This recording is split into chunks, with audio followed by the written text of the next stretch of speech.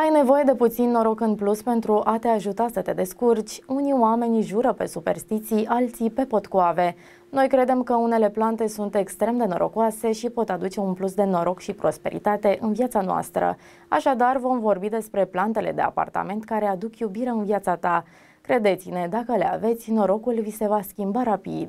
Conform Feng Shui, există anumite tipuri de plante care se consideră că aduc noroc, sănătate, bogăție și iubire în casa ta. De aceea, unele plante sunt numite plante de interior norocoase, cum ar fi planta de bani sau copacul de bani. În afară de purificarea aerului din casa ta și reducerea stresului, se crede că aceste plante de interior norocoase echilibrează elementul apă, ceea ce ajută la dislocarea energiei negative.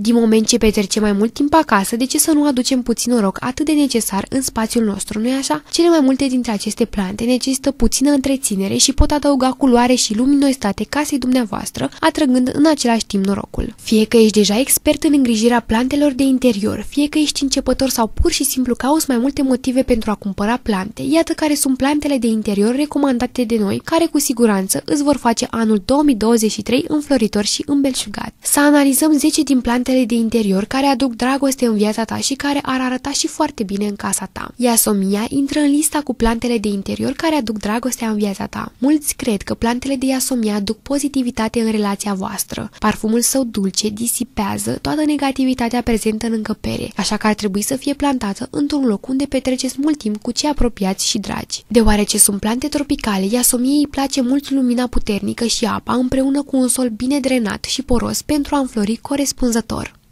Caprifoiul are nevoie de lumină ca să-ți aducă noroc. Caprifoiul face ca grădina ta să miroasă atât de parfumat și încântător. Se crede de asemenea că aduc noroc. Caprifoiul are nevoie de multă lumină solară împreună cu un sol bine drenat.